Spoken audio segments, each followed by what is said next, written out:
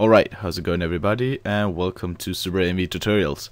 Today I'll be showing the complete basics of how to edit and I'll be showing this by going totally over whatever features you may need to know uh, to use in Sony Vegas.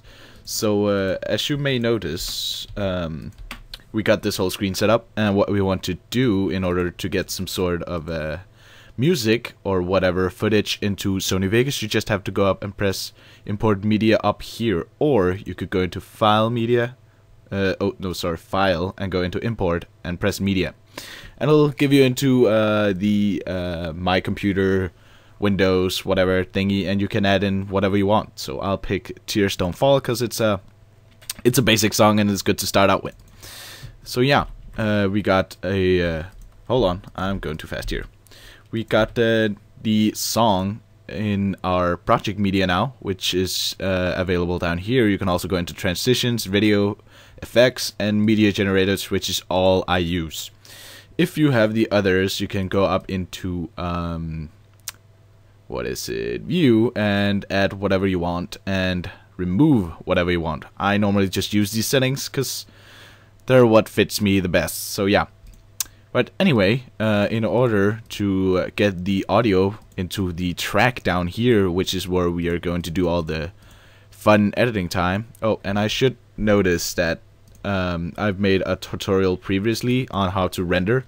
And uh, if you haven't seen that, uh, be sure to go check it out because that's uh, that's going to be the way we're going to to render and uh, do our projects forwardly. But either way, if you can see my uh, pro project properties here, you just press the little marker up here and it pops up this window. And what you want to do uh, with the you know basic kind of AMV, if you use Dragon Ball Z or the old Naruto or whatever, you get this footage that is um, kind of more uh, squared rather than widescreen. And what you want to do is use the width, uh, which is the same as the anime in this case, uh, which is 640 by 480. And the frame rate is what you want to use um, in order to see whatever how many pictures there is per second. And the normal one would be 23.976 in this case. So these are the normal settings I use. You can mess around with audio, the ruler, the summary, and whatever it doesn't matter. The all important thing is the video. And keep in mind field order is non-progressive scan and the aspect ratio is 1 squared. Okay. With that done, you can also uh, check out the tutorial I mentioned just a second ago. I'll link it in the description so you can see it for yourself. But yeah, now that we got our project set up, we can add in the song. And the way we do this is just drag it in, hold down our mouse button, and it'll drop in here. You can double click, it'll select it all, and you can press space, and it'll start playing the song, or whatever you have of footage in here. Alright, press space again to stop it. So yeah, got some cool features over here, I'll go over them later. Um, but the next thing you probably want is to import some sort of video footage. So if you go into import once again and find wherever you may have some footage, I've got some clips here on my desktop. I'll just add something random. Let's see here, Cell Saga. That's a good saga. And if I could get some pictures up in here, that would be awesome. Uh, let's see, let's see, let's see. Probably want to go with episode 171, I think. Hold on. No, that's not it as you can see, it uh, lists all the clips here that I've cut out myself. And uh, yeah, yeah, you can just press it and press open, and it'll drop it into the um, into the Vegas, or you could just double click and it'll automatically add it into the Vegas as well. But the other thing that you just saw me do is I right click and just say play with my media player. That's something you could do as well. You can just say play with Windows Media Player and it'll pop up here. So yeah, that's a cool feature. If you don't want to to click and get the video material into Vegas, then watch it to remove it again, you can just play it from the Explorer. Either way, let's go into let's see here. What's a good thing to go for? Should probably go for some Gohan action here. Hmm. Let's see. Let's just use this should be good. Okay, so we've got a couple of clips here. You'll notice that I marked more than one, and the way you do this is hold down shift and mark whatever episode you want to use. And you can just get them into here, into Vegas. And if you want these uh, into Sony Vegas, you can just do like with the audio, just drag them in and it'll pop up with a new track. Also, if you want another track, a video track is what this lane is called, because the video material is on this, you can't have audio on it, and vice versa with the audio track. Uh, you can just hold down Control, Shift, and Q for video, and Control Q for the audio. But we don't need more than one audio lane, so here we are.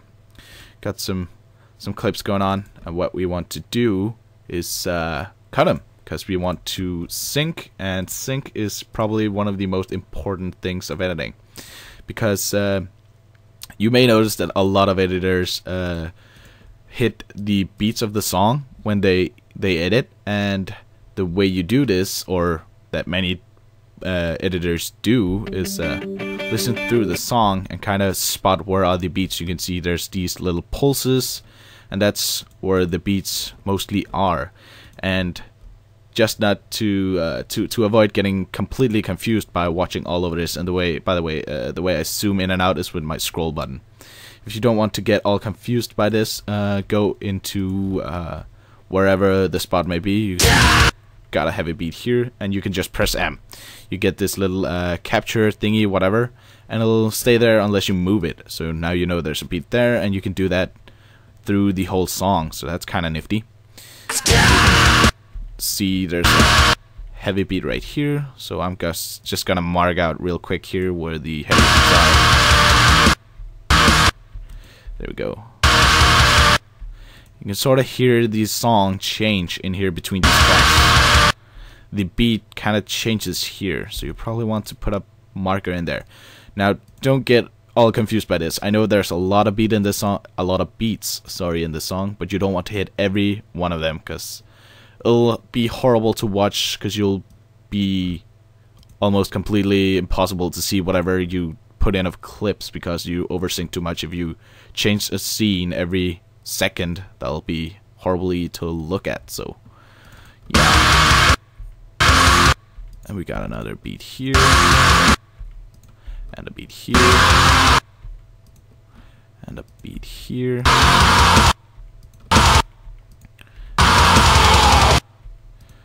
Okay, so we got a lot of beats in here that we want to try to see. And you can kind of see them in here. Just want to mark them out as quick as possible. And they're kind of close to each other, so... There we go, that should be fine should probably remove this. And if you if you didn't see ca quite catch what I just did there, if you want to delete these, uh, you just right click them and press delete or rename. And uh, yeah, you can rename them to whatever you want. So let's say over here is where the action part starts. So let's say rename, and we can give it a name. Let's just call it ac action part. Press enter, and there you go. Now you got a marker called action part. So what we want to do now is add our video clips into this because we don't just want kind of boring, controversial, nothing, just audio. We want some video action. So what you can do is put in your clips. Let's just see here. You can use this. And I want to use this scene of Vegeta turning around and screaming. Oh, and you may have noticed that something just disappeared. And the way I did this um, is I pressed on the clip. Oh, hold on. Let me just try it with a new clip. Got another clip here. Uh, if you double click it, it'll mark it, and you can go into here. Right click on the track and say zoom selection. It'll it'll stretch out uh, the view to only the clip that you selected. But what I did before was I uh, clipped, uh, no, not clicked, sorry, to wherever I wanted to cut the um, the video. Uh, I zoomed in to see every each frame there is and you can see it changes here. So I want to cut it here and I just press S. This will cut the track and you can move them apart without any problems whatsoever but let's say you don't want the first part you can just click on it and press delete and it's gone don't need to worry about it and since I don't really need this either we can just press delete on that as well so yeah that's how you cut clips so if we drag this clip over here we can sort of hear the let's go. The go starts here. So we want probably Vegeta to open his mouth, which I know he does in a second. There we go. Right there. Now we got this start of a clip. And what I'm doing here is I place my mouse cursor on the upper left corner.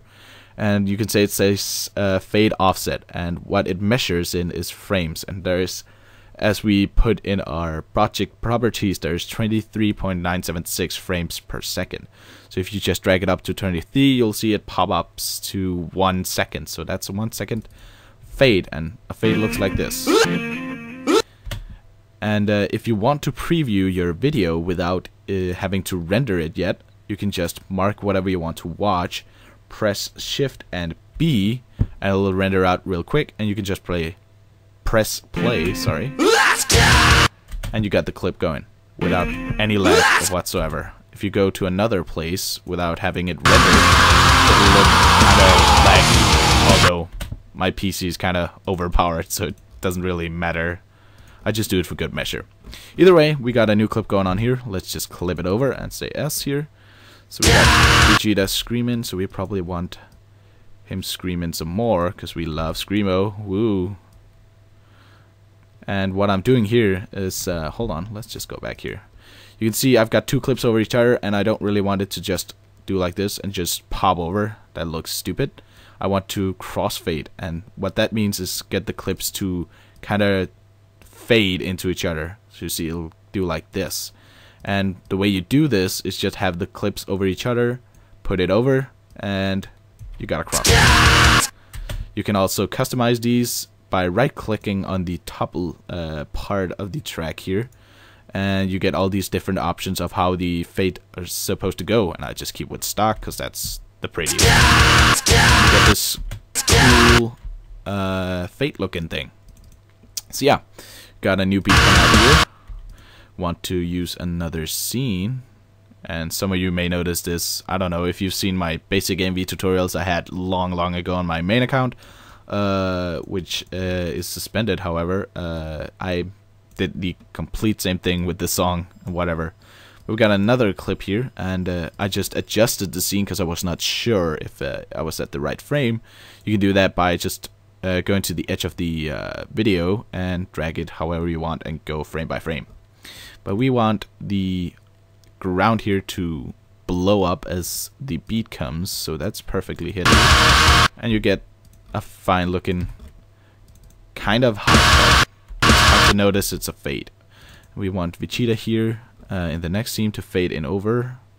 Let's just give it 10 frames for good measure. It's uh, it's a it's a clean number.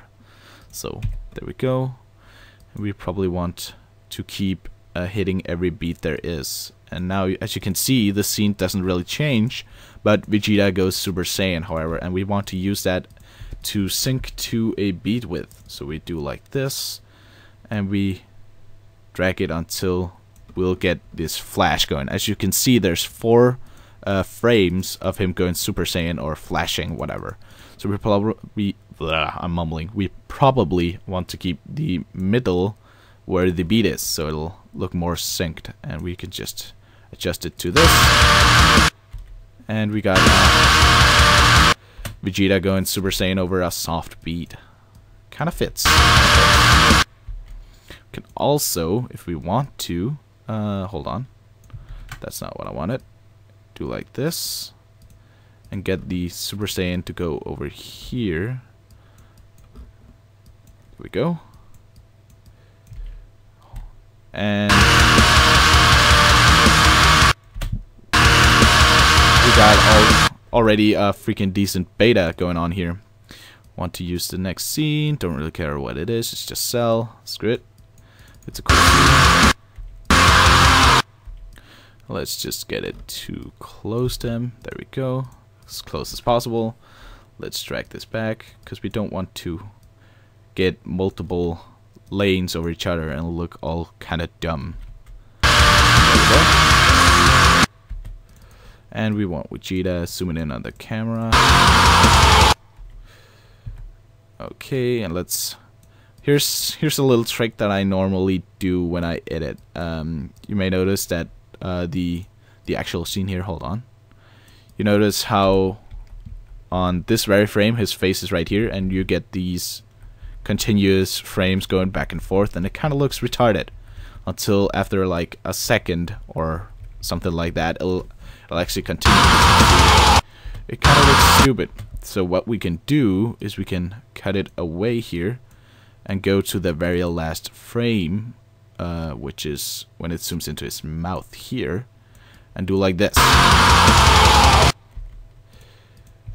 And cut it right there, because that's where our song editing. And it's not as boring and dull to look at, because the scene just copies itself. So now we actually got a, a flowy thing going on, actually. Oh, hold on. I need to render it out. Hold on a second. And you'll see we actually got our basic raw beta going on here, and I can render it all. Perfect.